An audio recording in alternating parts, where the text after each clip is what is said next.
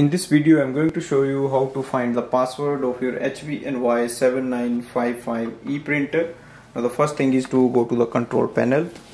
On the display panel you will see there is uh, top bar so slide it down and you will see there is a Wi-Fi direct icon in the middle so click on it. Click on the setting icon on the right hand side. So we have to switch it on so Wi-Fi direct so confirm if you really want to use the Wi-Fi direct yes. So it will activate the Wi-Fi direct.